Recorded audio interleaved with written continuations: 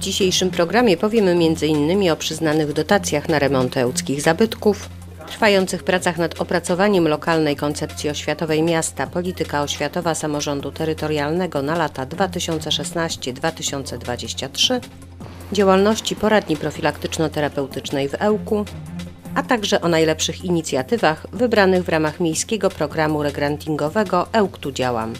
Jak zawsze nie zabraknie zapowiedzi i zaproszenia do udziału w najciekawszych wydarzeniach miejskich.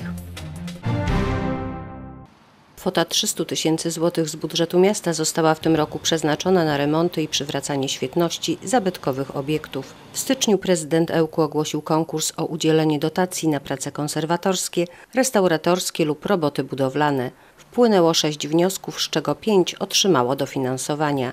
Nowy wygląd zyskają cztery zabytki. Dostaną dotacje e, wspólnoty e, Kamienica przy ulicy Wojska Polskiego 57 i Armii Krajowej 20. Zakres prac w przypadku budynków wspólnot oraz Wyższego Seminarium Duchownego obejmie przede wszystkim remonty elewacji i balkonów. Nieco inaczej wygląda to w przypadku kościoła pod wezwaniem Najświętszego Serca Jezusowego. Jeden dotyczył remontu posadzki, a drugi to był wniosek, który związany był z renowacją elewacji, a przede wszystkim drzwi wejściowych. Od 2011 roku miasto udzieliło 32 dotacji na renowację zabytków na łączną kwotę blisko 1,5 miliona złotych. Wysokość dofinansowania od lat niezmiennie może pokryć najwyżej 50% kosztów prac.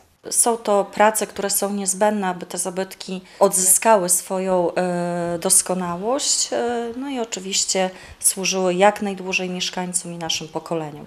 Podstawą ubiegania się o dotację na remont zabytku jest złożenie wniosku. Dofinansowania udzielane są na obiekty wpisane do rejestru zabytków, będące w złym stanie technicznym oraz posiadające dla Ełku istotne znaczenie historyczne, artystyczne lub turystyczno-rekreacyjne.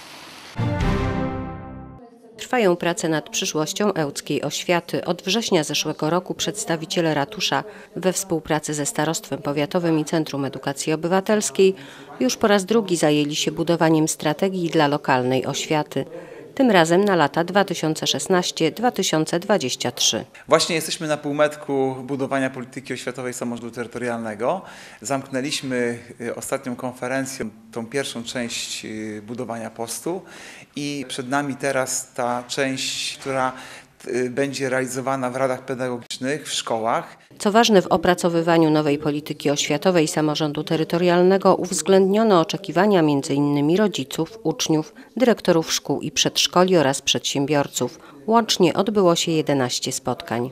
Bazując na zebranych oczekiwaniach różnych grup, postawiono cele strategiczne, które są swoistymi drogowskazami do osiągania coraz większych sukcesów edukacyjnych ełckich szkół. Uważam, że jest to bardzo potrzebne działanie, ponieważ y, Pytamy o rzeczywiste potrzeby środowiska, czyli tych, dla których właściwie funkcjonujemy, i z tymi ludźmi, z tymi środowiskami potem będziemy te działania realizować. Co ciekawe, priorytetami lokalnej polityki oświatowej sprzed 10 lat była szeroko rozumiana informatyzacja szkół, a tym samym ucznia oraz nauka języków obcych. Dzisiaj te cele wyglądają zupełnie inaczej zarówno informatyka, jak i języki e, tak daleko w naszych szkołach poszły, tak są zaawansowane, że już dzisiaj nikt e, nie oczekuje, żeby robić z tego priorytet i żeby to było najważniejsze w szkole. Dzisiaj stawia się przede wszystkim na to, żeby uczyć dzieci pracy w zespole, żeby potrafiły współpracować, żeby umiały nawiązywać relacje, żeby umiały komunikować się, jak również to, aby szkoła rozwijała pasję i zainteresowania, żeby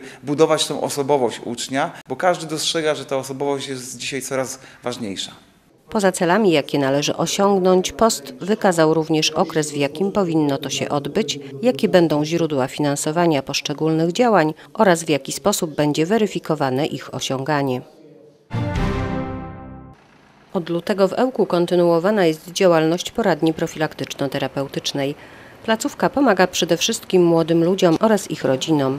Realizuje działania terapeutyczne oraz zapobiegające występowaniu zjawiska alkoholizmu, narkomanii i innych uzależnień wśród dzieci i młodzieży w wieku od 10 do 19 lat. Do poradni mogą zgłaszać się osoby, y, które mają problemy z uzależnieniem od środków psychoaktywnych, y, czyli dopalacze, czyli y, eksperymentujący ze środkami, z narkotykami, ale również osoby, które szukają pomocy z powodu uzależnienia od komputerów, od komórek, czyli wszystkie od gier hazardowych, czyli tak, tak, tak zwanego uzależnienia behawioralnego. W placówce podejmowane są zarówno terapie indywidualne, jak i zajęcia prowadzone w grupach zamkniętych w ramach programu wzmacniania rodziny.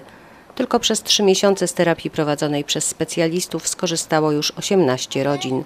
Świadczenia dla mieszkańców Ełku są bezpłatne. Finansuje je samorząd miasta z programu zapobiegania alkoholizmowi. W tym roku uzupełnieniem oferty pomocowej poradni jest projekt rekomendowany i dofinansowywany przez Ministerstwo Zdrowia Kandis w Ełku.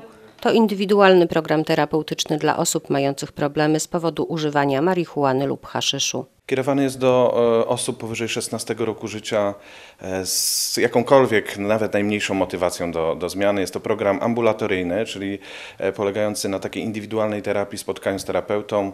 To jest terapia krótkoterminowa, około 10 spotkań. E, I składa się z takich trzech komponentów, czyli terapia taka motywująca na początku, z elementami dialogu motywującego, e, elementy terapii behawioralno-poznawczej i trening umiejętności rozwiązywania problemów. Poradnia profilaktyczno-konsultacyjna mieści się na drugim piętrze kamienicy przy ulicy Małeckich 3, lokal 18. Ponad 52 tysiące złotych z budżetu miasta przeznaczył w tym roku Ełcki Ratusz na kolejną edycję konkursu w ramach miejskiego programu regrantingowego Ełk tu działam. Taką formą dofinansowania zostało wspartych 14 najciekawszych pomysłów. Co ważne, w 11 przypadkach grup nieformalnych, a więc samych mieszkańców. W przestrzeni miejskiej odbędą się więc wydarzenia, których ich zdaniem brakuje. Mamy jogę e, w parku, mamy jogę z Parkinsonem, różne takie inicjatywy w parku, e, na przykład e, Dzień Sąsiada. Będzie świętować ulica Słowackiego swoje, swoje spotkania sąsiedzkie. Mamy też warsztaty fotograficzne, warsztaty ceramiczne, mamy gry planszowe, mamy e, koncert muzyczny z plenerem malarskim, więc tego jest bardzo dużo i bardzo różnorodnie i wszystkie inicjatywy są bardzo interesujące. W sumie na konkurs wpłynęło 21 wniosków. Projekty oceniała specjalnie do tego powołana komisja, ale swój wkład za sprawą głosowania online mieli również mieszkańcy Ełku i regionu. Listę dofinansowanych działań znajdziecie na stronie internetowej ratusza oraz operatora konkursu Stowarzyszenia Adelfi. Ruszyła ósma edycja ełckich koncertów muzyki organowej i kameralnej. Zapoczątkowane w roku 2009 odbywają się w każdą pierwszą niedzielę miesiąca od maja do października o godzinie 19. Podczas tegorocznych koncertów tradycyjnie już nie zabraknie znakomitych organistów, jak i innych wybitnych instrumentalistów. Będą prezentowane instrumenty, które dotychczas nie pojawiały się na naszych koncertach, a więc puzon, fagot, harmonika ustna, klarnet, viola da gamba, same nowości, no i oczywiście wspaniali wirtuozi y, tych instrumentów, y, znani nie tylko w Polsce, w Europie, ale także na świecie. Terminarz ełckich koncertów muzyki organowej i kameralnej dostępny jest na stronie internetowej Ełckiego Centrum Kultury. 14 maja na plaży miejskiej w Ełku rusza pierwsza edycja ekstremalnego biegu Run Magedon Games. Będą to zawody sprawnościowe rozgrywane w formie pojedynków na 200-metrowym torze z licznymi przeszkodami. Są to wyścigi rozgrywane w zasadzie w takim systemie e, pucharowym, to znaczy startują e, uczestnicy startują w parach, no i lepszy, lepszy zawodnik przechodzi do dalszej części e, turnieju, no i tak aż do wyłonienia zwycięzcy. E, Organizator przewiduje również e, przy zawodach e, z cyklu Run Magedon Games trasy dla młodszych uczestników, więc myślę, że będzie bardzo dobra zabawa dla całych rodzin. Majowa edycja wydarzenia będzie pierwszą z cyklu ekstremalnych biegów. Na czerwiec zaplanowano zawody Run Magedon Rekrut. Gratka dla młodszych i starszych fanów nowinek technologicznych i innowacji. W dniach 13-14 maja wszyscy chętni będą mieli okazję zwiedzić Park Naukowo-Technologiczny w Ełku, a także zobaczyć, czym zajmują się jego lokatorzy. Wszystko za sprawą Dni Otwartych Funduszy Europejskich.